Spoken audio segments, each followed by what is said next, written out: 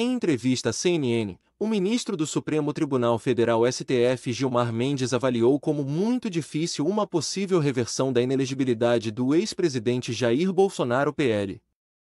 Vamos aguardar, obviamente, a deliberação do tribunal, mas tudo tende a manter a decisão que já foi tomada pelo TSE Tribunal Superior Eleitoral.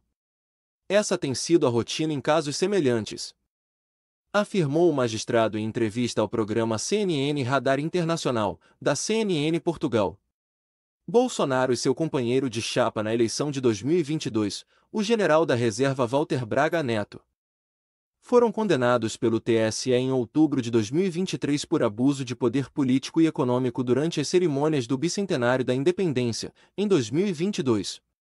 Meses antes, o TSE já havia condenado Bolsonaro em outra ação, tornando-se inelegível por oito anos, devido a ataques sem provas ao sistema eleitoral durante uma reunião com embaixadores, em meio à campanha eleitoral.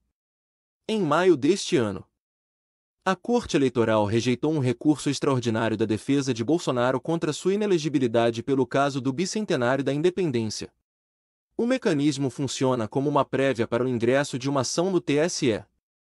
Antes, em dezembro, a defesa do ex-presidente, após receber a mesma negativa do TSE, já havia entrado com recurso no Supremo, mas pelo caso da reunião com os embaixadores. A ação tem na corte a relatoria de Luiz Fux,